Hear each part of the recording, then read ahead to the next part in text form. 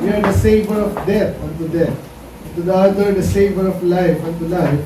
And who is sufficient for these things? Mr. Barry? For we are not as many which corrupt the word of God, but as of sincerity, but as of God, in the sight of God, speak we in Christ. Let us pray. Panama, salamat sa salita. Uh, ako'y uh, muli pag-aaralan. Pray na kayo manguna. Yung po mga gabay sa lingkod at sa mga Panginoon. Gusto ko kami ng wala din. Let's pray. Amen. Amen. Ang mga po. Morning po sa lahat. Title po nito is Speak in the sight of God. Speak in the sight of God. Sa Tagalog, magsalita na para bagang nasa nakikita tayo ng Diyos. Okay? Alam natin nakikita tayo ng Diyos, magsalita tayo. Yung parang, kasi alam niyo po, lahat po ng tao nag-isinungaling. Yes. Okay, lahat ng tao nag-isinungaling. Sabi nila, sabi sa survey, yung mga babae daw, hindi naman lagi ito siguro tama.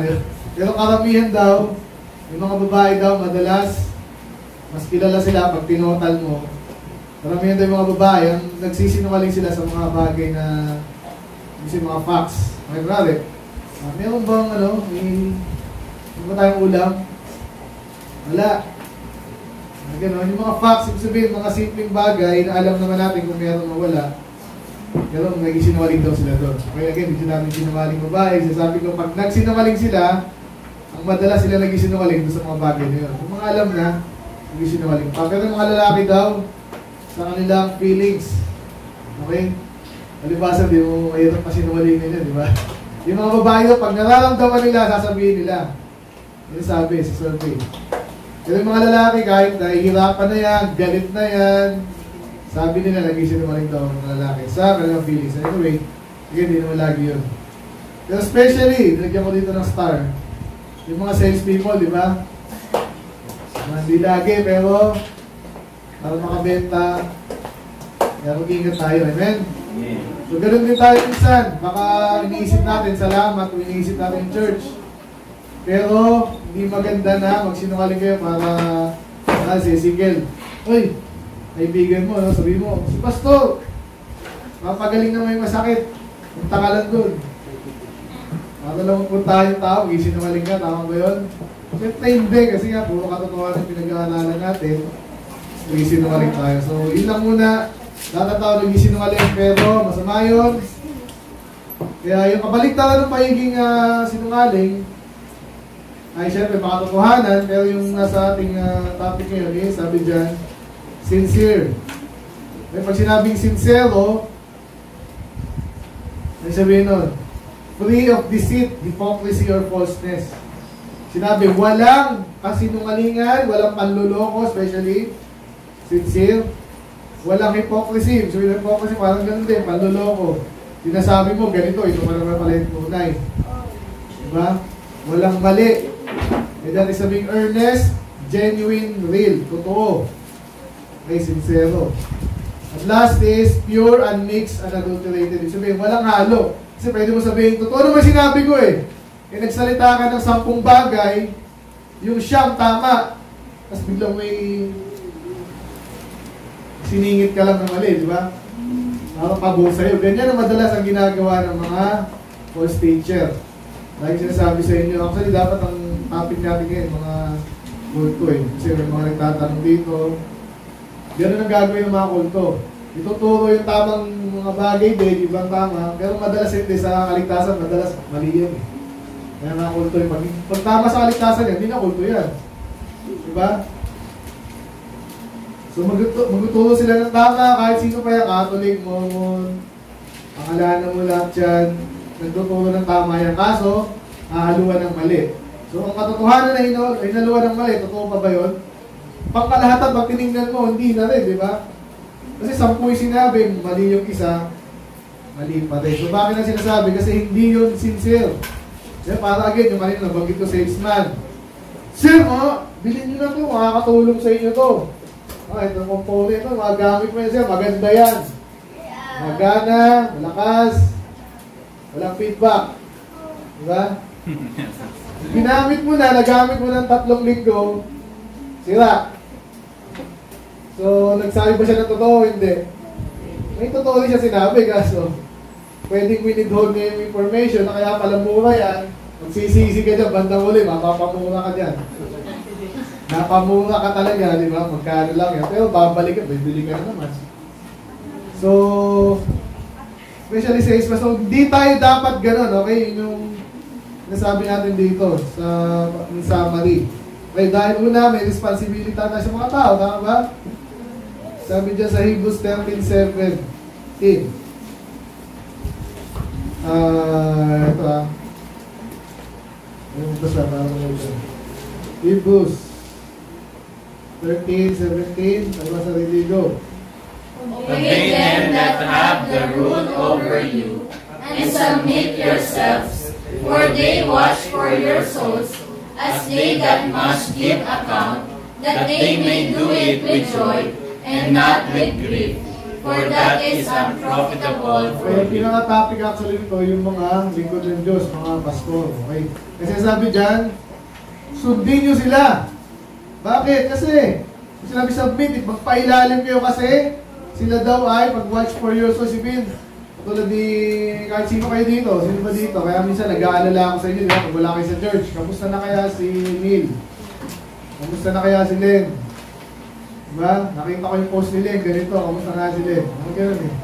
Kamusta na kaya si Rapi? Mga puro ML ginagawa. Kamusta na si Jeff? Si Jeff, lagi natin nakikita eh, men. Amen. Kumusta na kaya si Lian? Active na active to, tapos ngayon wala. Hindi niya ba namiss ang salita ng Diyos? Mga ganun eh. Bakit? Kasi si Pastor, iniisip kayo. Eh sabi niya, at hindi lang kalusugan niyo, pero minsan pag nakikita ko yung binabati ko kayo, di ba? Para ka may sakit. Kasi nag-aalala din ako. Wala si na Jackie na eh, no? Hapon. Okay, so, sabi niya, they watch for your souls. So ngayon, kung ligtas ka na, yung basa yun, di pa, di ba? Sino di pa ligtas dito? Si Krista, ligtas na ba? Pilinin. Siya tinatanong ko, ikaw, ja Jackie. Jasin, ligtas ka na ba? So, yung iba sa inyo hindi pa ligtas, gusto ko maligtas. Amen? Magligtas na, pabayaan na, ganun ba yun? Hindi pa rin, marami pa rin dapat kayong magawa Panginoon, di ba? Yung ibang kal- kaluluwa, nag-deteriorate, sabihin nun, na- nangihina, hindi din maganda, di ba? So kaya, para sa inyo, sumunod kayo. Kasi yung pastor pala, they watch for your soul. Pag siya yung nag-iisip niya paano kayo makakabuti. Kaya sabi dito, as they that which give an account, ibig sabihin lang nito, may responsibility pala yung pastor sa inyo. Amen? Sabihin, napaka-importante ng tulong pastor na gagawin sa buhay nyo. Kaya, kasi sabi natin sa ating text, dapat ay ah, maging katiwa-tiwala. Amen? At magsabi ng totoo. Yun ang ating ano eh, speak in the sight of God. Ang ano pala ito, subtitle is being sincere in handling of the word of God. Eh, pastor, di naman ako pastor eh. Kaso, Kristiano ka rin. Amen? Resolving ka rin. Ang pangit mong nasabihin ni pastor, ganito, tapos ikaw ganyan. Iba. Siyempre na nagkakaisa tayo. Number two, sabi dito sa bakit kailangan tayong maging totoo kasi may mga manluloko. Gusto mo bang tawagin manluloko ka? Gusto mo tawagin manluloko? Sino gusto? Sabi diyan, for days, for they are such, serve not our Lord Jesus. May mga tao daw na hindi naglilingkod sa Diyos, but their own belly. Mga Kristiyano to, mga sinasabi dito, mga nagpapanggap na lingkod ng Diyos. Marami yan sa panahon natin, sa panahon nila, meron na rin. Sabi diyan, hindi naman sila naglilingkod sa Panginoon. Ang pinaglilingkod nila, yung tiyan nila, ano sabihin nun? Ibig Sabihin, mukhang pera to. And by good words and fair speeches, deceive the hearts of the simple. So kaya yung mga false teacher ganyan, ang galing magsalita, ginugusto sila, mahal na mahal sila. Ay, sino ba yung mga false teacher dyan? Mahal na mahal, oh si Pop, ang galing naman si Pop. Mahalik pa yan sa...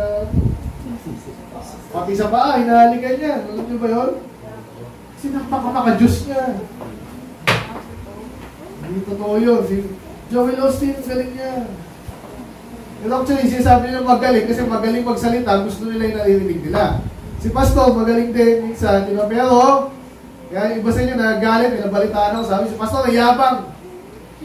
Bira, hindi na bago sa akin yan. Pag sinabi mo yung totoo, kahit hindi ka nga pastor, eh, di ba? Kasi mayayabangan sa'yo, katulad yan. O saan ka pupunta sa church? Church, church, church, yapang mo naman. Kaya sanay na tayo dapat dyan, amen? Hindi ka naman nagyayabang, gusto mo lang matuto. Eh bakit ang ganda ng suot ni, ano, ni, si Maros? Ba't yung iba, puro ganyan? Yabang mo naman. Diba? Sinasabi lang nila kasi na tinatamaan sila sa patutuo mo, amen? Amen. Kaya, pero tayo, yung totoo lang sabihin natin, pag nagalit sila, di, pero kailangan sabihin yung totoo. At pag tagapaglingkod ka ng Diyos, may masasaktan talaga. At pag hindi ka tunay na lingkod ng Diyos, ano si paglilingkod, paglilingkodan mo, yung sarili mo. Ganun yun, inaalam nila kung anong gusto marinig ng tao, pero nanloloko sila. Kasi salita ng Diyos talagang masakit. Amen. Pero bandang huli, mapapabuti ka naman. Amen? So, yun yun. So, number, ito pa, marami ito eh. 2 Corinthians 11. Tingnan natin yung mga deceiver. Yung mga ginagawa nila na dapat natin iwasan, hindi natin gayahin. At, ay gitan. Amen? Sabi dito, For such and for apostles, deceitful workers, transforming themselves into the apostle of Christ. Pag ikaw ay lingkod ng Diyos, ang Diyos ang magta-transform sa iyo. Di ba? Kahit di ka wala namang perfecto, pero habang naglilingkod ka sa Diyos, ginagawa, ini-equip ka ng Diyos, gumagaling ka para magamit ka niya lalo. Pero itong mga to, sila nagtatransform sa sarili nila. Kunwari, mabait, kunwari. Di ba? Kunwari, tagapaglingkod sila ng Panginoon. Diba? Pati pinipegi nila, pati boses nila, pati itsura nila, kung anong sinusuot. Para magmukhang banal. Pero hindi, sabi dyan, may mga ganong manloloko. Paano ka manloloko? Ibahin mo yung katotohanan, iba yung sabihin mo. So yun yung kabalitan na pag-aarapin ngayon, para tayo maging sincero. Kung ano yung nakalagay sa salita Diyos, sabihin mo lang, alam, intindihin mo, saka mo i-deliver. Especially sa pastor, pero lahat tayo preacher, amen? Dapat. Ngayon, ngayon, iba sa inahatal yung palak yan. Ang dami dito actually, hindi ko na natapusin to. Lagpas tayo dun sa, para matapos natin ito, mag-revelation tayo ngayon, amen? Dito tayo sa, bigyan natin ng dalawa, okay? Sa Matthew 4.6, malinaw na may mga talagang sinasadya nila na sirain ang salita ng Diyos. Mga ba to? Yan. So, sino yung nagsalita sa Matthew 4? Yung Satanas. Okay, sabi ng Satanas, If thou be the son of God, eh, son of God na kasi Jesus, paano kailangan patunayan? Kasi sabi dito, Cast thyself down, for it's written, he shall give his angel concerning, uh, charge concerning thee, and their hands shall be, bear thee up, lest any time thou dash thy foot against a stone. Yun ba sinabi ng Diyos? Yun ang sinabi ng Diyos, kaso, again, sa context, hindi sinabi, kaya sabi ng Panginoon, itay pang Diyos. Puprotekta ka ng Diyos, sige nga, tatawid ako sa kalsada, naka, naka-blindfold ako, patay ka doon, sigurado. Ano ba, puprotektahan ako ng Diyos, mali ang pangunawa mo, mali ang application mo. So, sino yung ano ginagawa ni Satanas dito? Tinitwist niya yung salita ng Diyos. Salita ng Diyos yung kinote niya, pag tinignan mo sa sa Bible niya, talagang gano'n na gano'n. Kasi yung application pala. So yung yung, yung nire-rest nila, tinitwist nila yung salita ng Diyos. Ah, last na lang dito sa 2 Peter 3.16, ito yung mga huwag natin gagayahin, ha? amen? Sabi dito, is also, tinutukoy niya si Paul, yung mga si, sinulat si Paul na napakahirap intindihin minsan. Especially sa mga di. Speaking in them of these things in which some things are hard to be understood, which they are they that are unlearned and unstable rest. Ibig sabihin yung mga tao, hindi naman maintindihan yung salita ng Diyos, pero pinipilit nila, kasi nga, nagpapastor-pastor na rin sila, umaastang marunong. Eh, hindi talaga nila maintindihan, anong gagawin nila? Ito twist nila yon para makinabangan nila. Okay, sabi dito.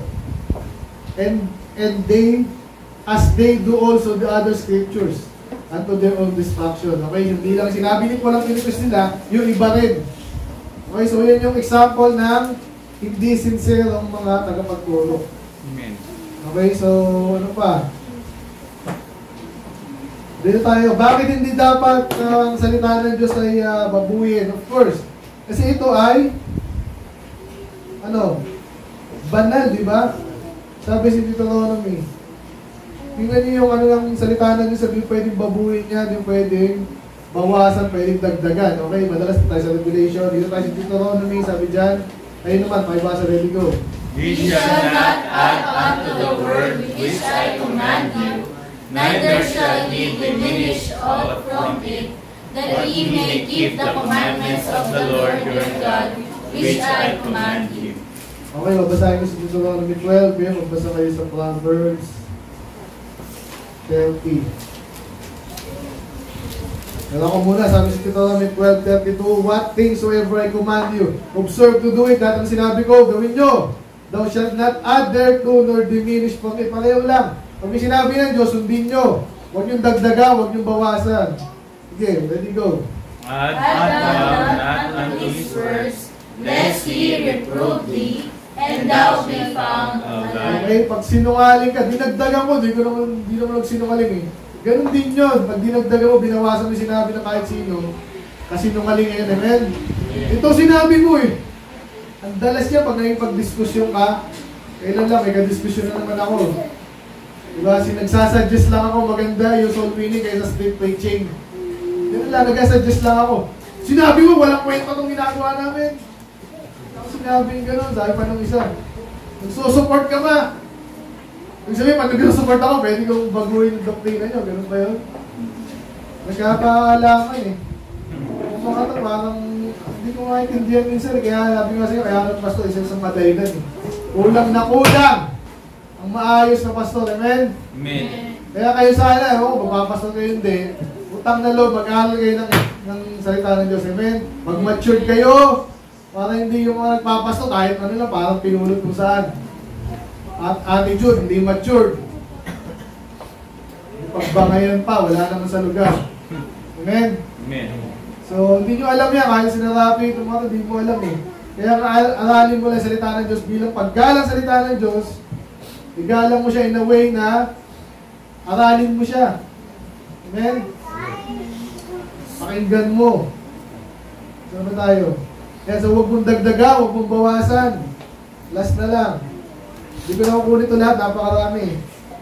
Dito na lang tayo sa... Saan ba ako? tayo sa doing good. Ano ibig sabihin nung gumawa ng mabuti? Kasi sabi kasi sa text natin, ang sabi doon,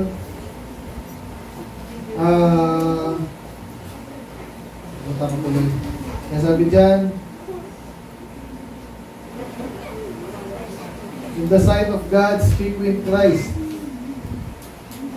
Okay?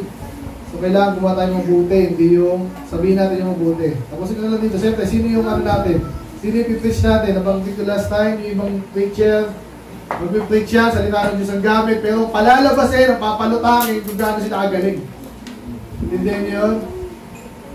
Ginagamit lang yung salita ng Diyos, pero gusto niya talaga sabihin sa'yo, pag sinamarize mo yung sinabi niya, ang galing talaga ni Pastor, galing talaga ni Father, galing talaga ni sino man yan. Talaga ni Soriano. Siya lang, ang preacher. Sa buong mundo. Ganun yung pinapalit mo siya, naniniwala yung mga tao doon. Yung mga tamang preacher, totoo, ang galing talaga ng Panginoon. Paglabas mo dito sa church, ang galing talaga ng Panginoon. Amen? Amen. Basahan natin ang ilang verse dito sa Acts. Alam niyo yung Acts 8, di ba? Si Philip, tsaka si uh, Eunuch. So si, uh, nagbabasa si uh, Eunuch, Bible, Isaiah.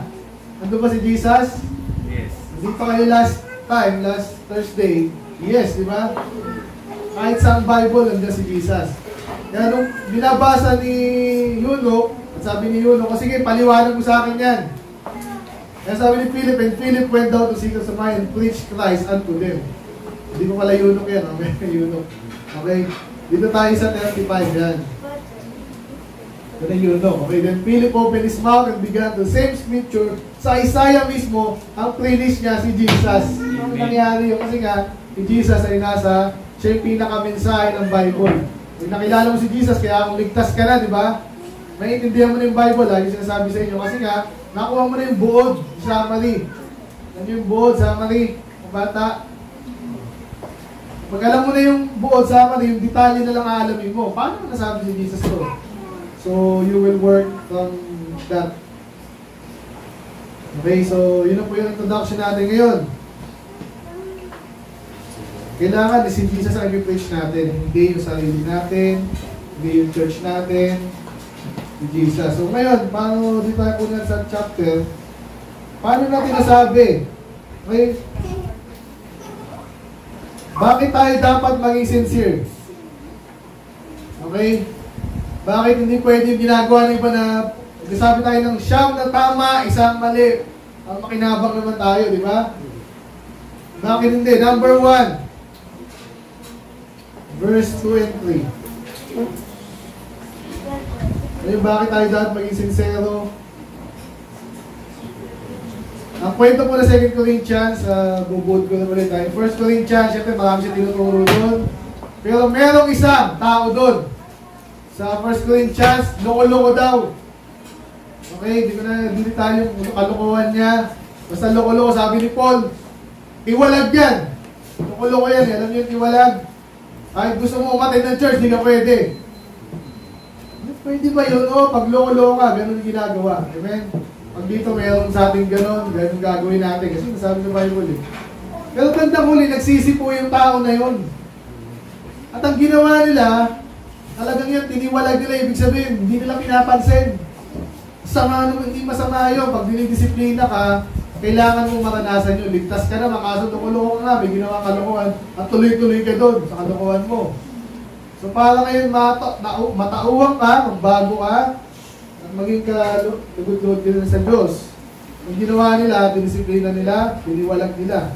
Bandang muli nagsisi, bumalik sa church. Amen, di ba? Yun ang gusto natin, bakit natin sila dinisiplina? Para sila ay magpino at mapabuti sila. Amen? Amen. Yung mga maingay, pwede ba itiwalag yan? So, ba naman, pastor? Wala sa Bible yun. Nagsasabihan lang. Amen? Sino yung mga tinitiwalag?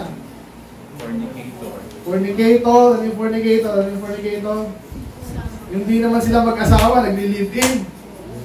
Ha? Tama ba yun? So, tinitiwalag yun. Hindi pwede dito. Amen? Ano pa? Yung mga kubetus. Mga ano yung pera ang gusto usapan, mga networking, puro ganyan, puro ganon. Okay lang isang beses, sasabihan ka, puro ganon, ito, kubetos ng tao, tiwalag yun. Ano ba? Bakla, hindi, hindi tiwalag yun, hindi tanggap yun sa church. Okay, mas malala yun, okay? Diba yung tiwalag, yung tiwalag, member, kaso, temporarily, kinakat siya dito. Yung bakla, hindi ligtas yun, hindi welcome yun, okay? Ba yun, ano ba? Adulterous. Okay, parang ganun, fornication din, no? So, kailangan ayusin nyo muna yan. Eh, pastor, gusto ko talaga sa church, eh, ayusin mo yan. Okay, so either pakasalan mo siya, or maghiwalay muna kayo. Yun yun. Ganun. Ayaw mo talaga, umalis ka na dito. Ganun yun. So, nasaan pa tayo? Ah, yun yung kwento. Sinasummarize ko lang, no? Bago tayo pumusok. So, nung nagsisi na to, tinanggap nila, salamat sa Diyos. Eh, medyo lang gusto natin ma-restore yung mga tao, yung mga Krisyano nagkasala. Kaya ang sinasabi ko yung point number one, bakit tayo dapat maging sincero? Kasi, yung mga pinag-uusapan dito, napaka-importante. Alam niyo ba iba, umalis sa church, napakamatay, ano pa. Dahil lang sa emotion nila. Kaya nasabihin ng mali, at talagang minali. Yun ang nangyari, banggitin ko yung ibang ano sa inyo, yung iba nga, yung nabanggit sa inyo dati, ah, parang na, nabigo sa pag-ibig. Mahirap yun, di ba? Eh, kaso sa church mismo, Niligawan siya, tapos pinaasa.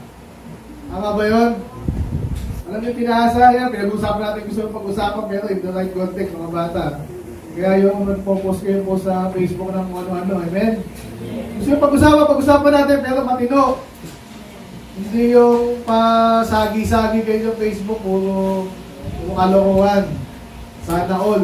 Yan. Dito tayo mag sana all. Sana all, nakikinig. Sana all, nasa church. Intindihan yan, di ba? Ba ako yan? So, so na-offense siya kasi nga pag-ibig yan, eh, mabigat yan, di ba? So, ang ginawa niya, umalis sa church, di naman kailangan. Ano pa iba, nagkaka-offend, wala kayong problema sa pastor, kaso may problema kayo sa kapatid. Tama ba yun? Hindi dapat, kaso nga, minsan pag may nagawa kayo, may nasabi kayong mali, hindi maiwasan nagkakasakitan, di ba? And number one, bakit tayo dapat sincero at talagang tama at pinag-aaralan kung paano natin gagamitin salita ng Diyos kasi number one, because of what are in stake. Matindi yung mga nakasalalay sa mga sasabihin mo, okay? What is what are in stake? So number one, isa lang to actually.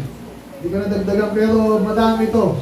So deep-seated emotion, ibig sabihin, pag nagkamali ka sa paggamit ng salita ng Diyos, masasaktan ng susto yung iba, hindi naman kailangan, kung hindi naman kailangan, sasaktan, ano mangyayari? Hindi kagulo, di ba? Yung mga ginamit niya ano dito ni, ni Paul, sabi ko, made sorry, auto rejoice, positive, negative eh. Anguish of heart, ibig sabihin, nasaktan, not be grieved. Matindi to kaya yung mga salita nyo, sabi sa nga sa James, yung dila mo parang ano yan, depende sa paggamit mo. Pag masama paggamit mo sa dila mo, puro ka chismis dyan, ano ba? Ano yung chismis, di ba? Ang dami nagkakasira dyan. I-interpret mo, ano sinabi niya? Gino, sinabi niya yun sa akin. Sabi niya, mataba daw ako, hindi naman. Pero minsan yung iba, pagkakasabi, pwede namang ano eh, di ba? Pwede namang huwag itodo, di ba? Tsaka ba't, ba't ka naman makasal ng wala lang, di ba? Ang dami niyan. So kailangan, uh, sincero tayo, alam natin, yung gusto natin ma-accomplish sa sinasabi natin ay positive, amen? Hindi lang makasakit, hindi lang makapangkasal, hindi lang makapagpapogi or something. So yun ay number one. Number two, verse 8. Sabi dito, Wherefore I beseech you that they would confirm your love toward Him.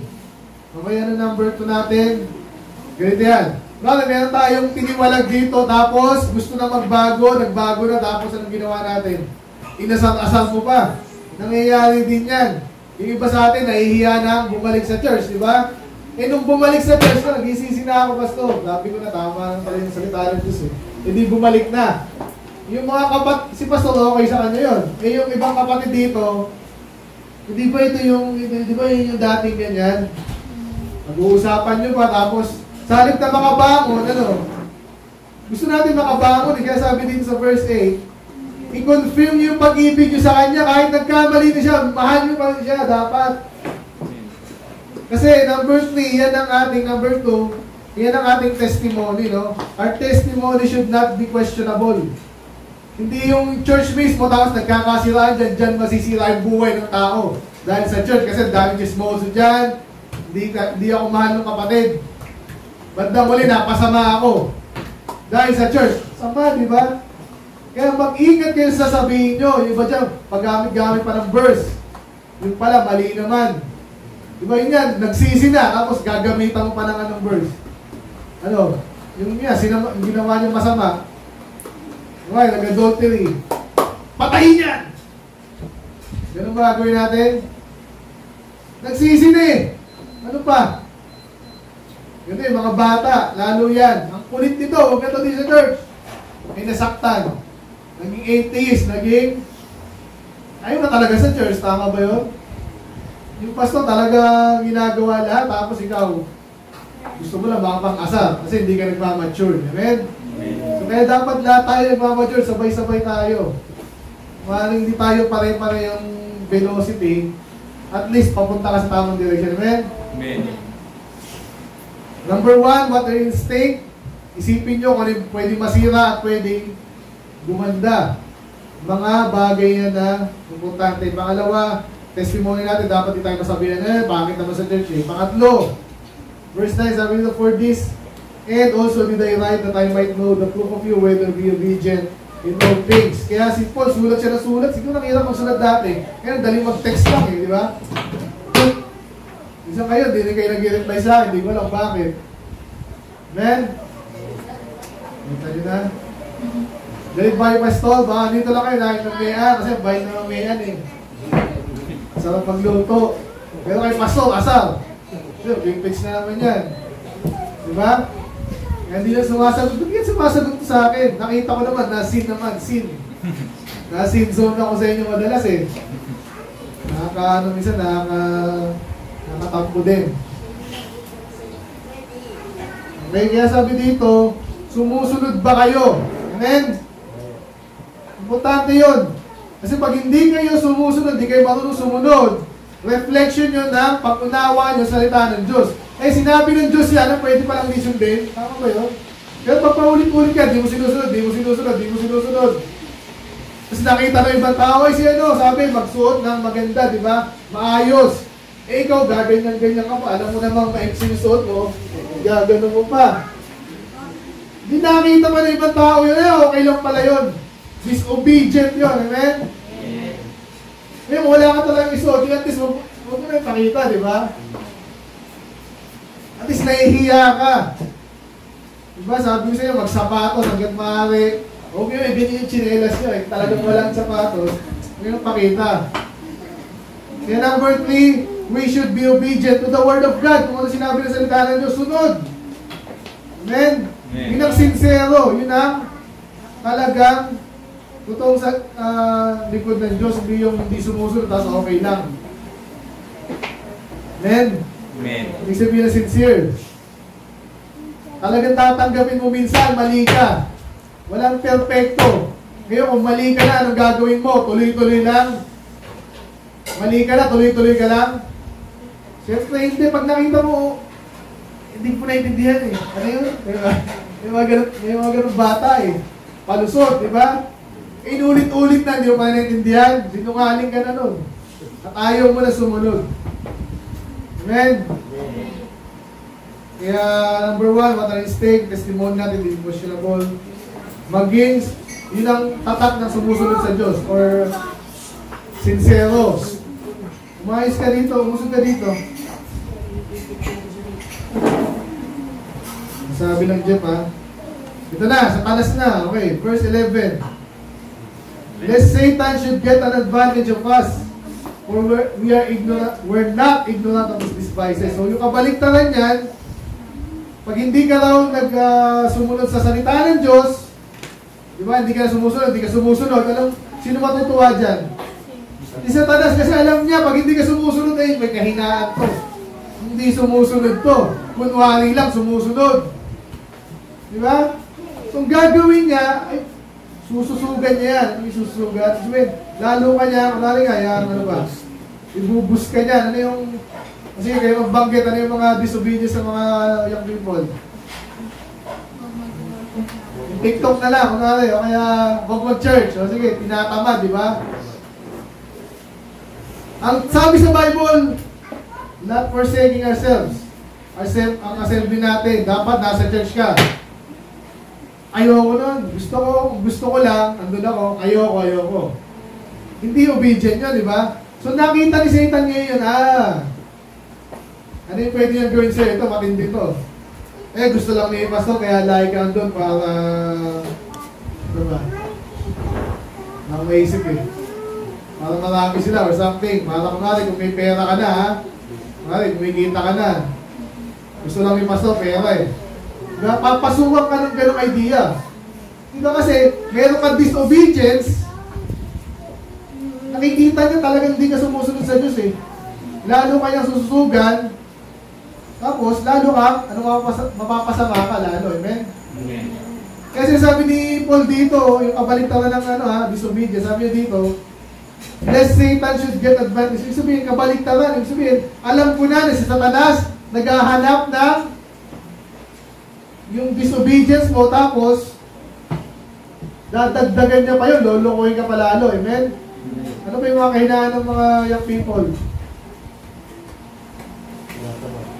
Tinatamad, tapos na kanina eh. Yan na lang, in love life na lang. Di ba? Yan ang madalas eh. Dami na nasira dyan. So ngayon, hindi ka sumusunod, anong gagawin ni Satanas? Hindi, boy, pwede na maligtas ko siguro eh. Tsaka naman eh. Kaya nga nagmamahala kami. Kahit wala sa church, hindi pwede ako sa church, siya wala. Pwede kang pasukan ng gano'ng idea, ano mangyayari sa'yo na, na, na take advantage ka na niya. Kaya ngayon, nakabalik tara doon, sinasabi ni Paul, dapat hindi tayo ignorante doon. Diba, alam mo na sa church, ang dami mo na nakita na pasama. Tapos, isa ka pa. Mas hindi ka naman nakita yun eh. Kasi kinukwento na nga sa'yo. Tanong ka. Ito, sino ba yung kinukwento mo? Kasi dito, di natin pangalanan ng lahat eh. So, pangalanan lahat, isa-isa. Diba, nakay, ano, nasa YouTube pa tayo. Di lalo, di bumalik. Diba? So, dapat alam natin yung kanyang mga devices, yung mga ginagamit niyang mali sa atin. Okay, yung mga feelings nyo, gagamitin niya yan. Kaya dapat alam mo yan at kaya yung mga lingkod ng Diyos, tsaka kayo din, huwag nyo, yung ano nga, yung kwento dyan, di ba? Ah, yung Ephesians, ano yun, 4. Alam nyo yun, be not unequally yoked together, di ba? With unbelievers, pwede mong i-twist yun eh. Pag talagang gustong-gusto mo sa kaibigan mo, boyfriend mo, girlfriend mo, unbeliever. Gagawin mo, hindi naman siya sinasabi pas hindi ganyan yan eh. So tama yung interpretation dito sa pulpit, pero sa buhay nyo, mali na. Kasi hindi kayo sincero sa pag-handle na salita ng Diyos. Madalas ganun. Ang nangyayari. Kaya nagkakatalo-talo. Number five. Paano tayo dapat maging sincero pag sa handle ng anong dahilan? Number five, sabi dito, that thanks be to God which always causes us to triumph in Christ. Nakita niyo yun sa Tagalog? Sinong gumagawa? Bakit tayo matagumpay? Bakit naging maayos yung buhay kunwari ni Ma'am Joanne? Kasi matalino yan. Bata pa yung matalino na talaga. Magaling. Ganun ba yun? Sabi dito, ang nagkokos na tayo magtagumpay ang Panginoon. Amen. Aminin niyo yun. Kaya number five, it is God who gives us the victory. Bakit tayo susunod sa Kanya? Bakit tayo maging sincero sa pagsunod? Eh, siya naman nagbigay niyan eh. Kung mayroong mas success kayo, huwag kang magmayabang, hindi ikaw gumawa niyan. Basta hindi ako gumawa, ako gumawa niyan, nagsipag ako, hindi pa rin. Inalaw niya yun, amen? Pag nakakita kayo ng mga tao, nakala nyo, talagang hindi na babagsak, mayaman, matalino, tapos bumagsak, magtatanong ka rin. Amen? Yung iba dyan kasi di aamin eh. Di ba? Yung iba dyan, mabaliwalay na yun para lang di masabing nagkamali sila. Pero pag tinignan mo yan sa Bible, talagang pag nagsabi ng totoo yan, especially pag Krisyano, nagpatotoo yan, nagkamali pa, kala ko basta ako malusog ngayon, malusog na ako forever. Kaya magpupuyat ako, mag-ML na lang ako, maghapon, mag-yosi ako, mag-inom. Bandang huli, bagsak ang katawan. Diba? So makikita nung mayabang pala tayo pag hindi natin in-acknowledge ng Diyos na nagbibigay niyan. Amen? Amen. Kaya pag malusog ka ngayon, sabihin mo kasi ang Panginoon, naggabayan ako. Amen? Ako, di pa nga siya nang bumito ako mag-Yossi. Pero lalo na siguro kung hindi ako naging Kristiyano, di ba? Baka binaling ako, hindi ko alam. Di ba? So kahit pa paano, malakas yung pastor na, amen? Amen. Kahit pa paano, para sa iba. so pero yun nga, para maging uh, handle mo ng, ng salita ng Diyos ng matapat, kailangan i-acknowledge mo na siya ang naging matamatuna at siya ang nagpo-post ng victory mo. Amen? Amen. It is God who gives us victories. Number 6, 15 to 16, sabi dyan, ito na, punta tayo sa ating text. For unto God, for we are unto God the sweet savor of Christ. Pag sinabing savor, ito po ay, ano mo yung uh, label. Or pwede daw sa taste at pwede sa sa ilong. Okay, katulad ngayon, di ba? Ano yung niluluto? Kung masarap, di ba? Naaamoy mo pala ang sarap! Pero pag ayaw mo ng ulam, ano? Ako, ayaw na ayaw ko yung tulingan. Alam ni Mrs. yan, hindi siya magluluto nun, amen? Ang layo pa nun. ano na akong uh, allergyin? Tulingan. Okay lang yung tuyo eh. Kasi merong allergy sa tulingan. Alam yung tulingan? Parang hito na ewan. Ang baho nun sa akin eh. Kaya sabi dito, tayo daw, mga lingkod ng Diyos, ay, sabi dyan, Ano ba ako? For we are unto God a sweet savor of, of Christ in them that are saved and in them that perish. So dalawang klase ng tao, makinig. So yung mga ligtas daw, talagang tuwang-tuwa yun, soul winning sila. Salamat. Amen. Pero yung mga unsaved, anong tingin sa atin? Kalaban, di ba? Explain yung religion nyo. Dapat walang Diyos. Galit yan. O kaya yung mga kunwari kristyano, ayaw nila yan. Di ba? Kaya sabi sa 16, to the one, to mga ligtas, ah, sorry, yung mga inuuna niya, yung mga hindi ligtas, sabi dyan, we are savor of death unto death. Talagang gusto tayong patayin at kala nila mapapatay sila. Di ba? Ayaw na ayaw nila yung amoy natin, yung lasa natin. Kaya sabi dito, and to the other, savor of life unto life. So gustong gusto naman tayo. Kaya, sinasabi ko dito, bakit tayo dapat maging sincero? Eh, pastor, huwag mo nang turo yung sa bakla, yung sa ano, huwag mo nang turo yan. Kasi magagalit sila sa atin. Eh, pero yung mga galit din sa bakla, yung Diyos mismo, matutuwa naman sa atin. Amen. So dapat tayo ay maging ang tawag dito, matapat sa salita ng Diyos. Kung ano sinabi dyan, yun yung turo mo. Huwag mong bawasan, huwag mong dagdagan. Yun na yun. Amen. Magagalit sila, may matutuwangin sa'yo. Yun ang totoo. Amen. Amen. Pag nagalit sila, ibig sabihin, problema nila yun. Salita ng Diyos yun eh. Sila may problema sa salita ng Diyos. Therefore, hindi tayo dapat mag-sorry. Amen. So yun yun ha. Number one, it is important for the believers. Gusto nating marinig yun. At pangalawa, number seven, it will stir up the unbelievers. So okay din. Eh, nagalit sila sa inyo. Okay yun. Ibig sabihin, sign yun na totoong lingkod kayo ng Diyos. Amen? Amen. Totoo lang, ganun yun. Ang problema ng ibang churches ngayon, walang galit sa kanila. Tama ba yun? Pag yung church nyo walang galit sa inyo, hindi nyo ginagawa yung trabaho nyo. Amen. Hindi nyo pinipreach yung dapat nyo i-preach. Kasi sa Bible, lahat ng lingkod ng Diyos na nag-preach, nagagalit sa kanila. Hindi lahat ha, may nagagalit sa kanila. Kasi yung mga anak ng demonyo, magagalit din sa kanila. Normal yun. Amen? Then last, ito na actually pinaka-text natin. Bakit tayo dapat maging sincero? Bakit dapat kung ano sinabi ng Diyos, yung nasasabihin natin? Bakit di natin dadagdagan? Di natin babawasan? Di natin babaguhin? Kasi nga, sabi dyan, for we are not as many. Marami nang gumawa nun. Nang ginagawa nila, kinukurap nila yung salita ng Diyos. Binabawasan, binadagdagan. Dadagdag pa ba tayo? Hindi na. Ang kabaliktaran nun, sincero. At sabi dyan, but as of God, pag ang nagsalita si pastor dito, dapat alam nyo na yun mismo sinasabi ng Diyos. Naintindihan nyo ba yun? Amen. Pag sinabi dito, yun na yun. Basahin mo rin kung wala tiwala. Pero bandang huli, pag natututo ka na magtiwala, mas mati, mas ah, makikinig ka. At walang wala na yung nilipad-libay. Totoo kaya yun? Ikaw nga mamaya pag uwi ko. Matagal, di ba? Matagal yung learning pag ganun.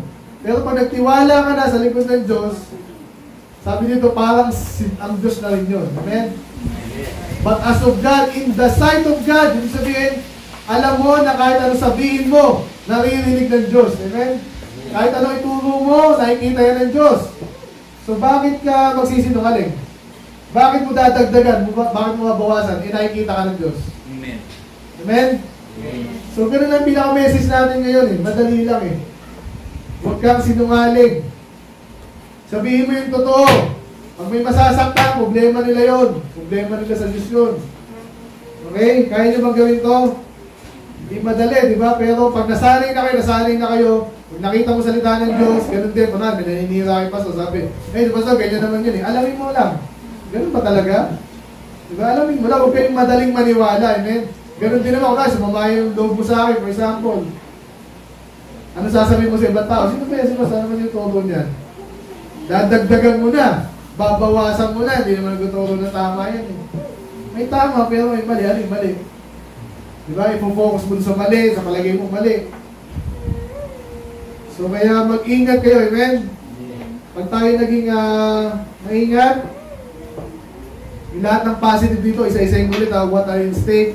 So syempre, mapapangalagaan yung mga ba- bagay na mahalaga.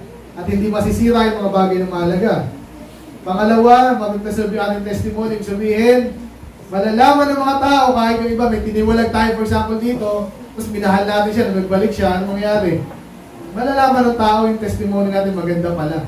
Ah, ganyan pala dyan. Pag nagkasala, titiwalag, pero mahal pa rin sila ng church. Amen? Pag bumalik sila, welcome na. Kasalanan, nakalimutan na. Amen? Amen. Pangatlo, be obedient of the word of God. So kung naging obedient ka, yung ibang tao, ma, na-encourage nila sumunod. Eh, masarap pala yung sumunod. Sa Diyos, masarap pala yun. Hindi pala yun nakakabuisit. Hindi pala yun nakakatamad. Diba? Kasi naging masipag ka, sumusunod ka rin. Ganun yung si Satan. Hindi sila makapoma. Alam nyo ba yun? Pag sunod ka na sunod salita ng Diyos, hindi natin kaya alamin lahat to eh. So pero yung alam na natin, sumunod ka na lang. Amen? Pag sinunod mo to, kahit si Satan, napaka makapangyarihan din yan, pero wala magagawa sa yan. Alam mo yun? Pag sunod ka na sunod dito, hindi makakapolma yan. Amen? Yung alam mo lang, sundin mo, inaintindihan mo. Isa tanas di makakapolma sa. Ibang tao, alam nyo ba, ibang tao, galit, ah, takot na takot sa demonyo. May mga ganun ako nakilala eh. Uy, baka may demonyo dyan. Yung virus na demonyo, galit mo. Pero pag sumusunod ka sa Diyos, pinoprotekta ka ng Diyos, matatakot mo sa demonyo. Ayan, may natagatuhan. Okay. So, alam mo isa, it is God that give us the victory. So, ang Diyos ang may tataas. Ba't kaya si, si Tala, si Crystal, sunod na sunod sa Diyos? Hindi ko maintindihan. Bandang uli, pagpapalain din si Crystal, ano mangyayari? Yung ibang tao na naka-observe sa kanya, ganun pala yun. Hindi naman masyado matalino si Tala, pero pag sumusunod ka pala sa Diyos, parang matalino ka na rin. Amen? Amen. Magaling ka talaga. Ah, siya magbibigay sa'yo ng victory. Okay? And then, ah, yung dalawang magka-tandem dito, yun nga, magagalit sa iyo ang believer. Malalaman din ng mga tao na yung galit sa iyo, dapat yun ang kagalitan nila. Intindihan niyo, katulad yung mga bakla. For example, yan. Yan kasi yung uso ngayon eh. Ba't si Pastor galit sa bakla? Kasi Diyos galit sa bakla. Dapat magalit din tayo doon. Amen? Ganun lang kasimple yun. At pag nagalit ka doon, galit sila sa inyo, at least, protektado ka. Amen? Hindi mo sila kakaibiganin. Hindi ka nila mabibiktima. Amen? Amen. Ganun yun. So hindi kayo dapat mawala ng ano, mawala, mawala yung mga unbeliever na yan, na especially galit sa Diyos. Ngayon, yung mga mga pag-asa pa, kailangan ma-attract sila sa atin. Kasi nga, pag, ginasa, pag ginasunod yung salita ng Diyos, din sa atin yan. Kung naliligtas sila. Anyway, last and uh, ganun naman, yung ang Diyos matutuwa sa atin. Amen? Maniwala kayo. Ako yung mga anak ko, pag sumusunod sa akin, tuwan-tuwa ako. Nagtitiwala sila sa akin. Sapat na yun. Ano gusto mo? Bike? Ano? Gusto mo? Cellphone. Cellphone? May type dyan. Pero ang dali lang yan sa tatay nyo. Amen? Pag kaya. ha? Kaya ang Diyos, kaya niya ibigay lahat, di ba? Oh. Ang sarap sundin ng Diyos. Amen? Sumunod ka lang. Especially sa salita ng Diyos. Pag nabasa mo, totoo kaya to, totoo yun. Salita ng Diyos yun eh. Huwag mong ibahin. Huwag mong dagdagan. Huwag mong bawasan. Amen? Amen. Very honest, yun ang pinaka-message natin ha, very honest. Salita ng Diyos, okay? Yung sinabi niya, gusto niya, yun ang sundin natin. Amen. Okay, let's pray. Panginoon, salamat sa maikling mensahe, pero we pray na importante nito. Ginagawa ng iba, niloloko, binabago yung salita, makita na namin, bibigyan gayahin, makita namin ang kanilang katapusan, yung distraction nila, Lord, pag sila nagpatuloy doon, biglang uh, gayahin, Panginoon, bigyan ng mga kabaligtaran nito pag kami sumunod. Naging honest kami sa ibang tao, mag-deal sa inyong salita, kami pa makakabuti, kahit minsan, Panginoon, na isipagkat kami, ano, we pray na magtiwala matuto kami magtiwala sa inyong lubos. Especially yung salita, yung maging pagkatiwalaan nyo Lord kami sa inyong salita dahil marami nang bumaboy dito, nakita rin namin yun. Nawan, mga kabataan ito Lord, bawat sa amin ay pagkatiwalaan Lord sa inyong salita. Masahin namin, alamin talaga namin sabihin. And then, pag dumating yung pagkakataon, meron kayo pagkakataon mag-share, Panginoon, mag-share namin yung buong katapatan. So, we pray. Kilos, malulaan siya. Jesus name, pray. Amen.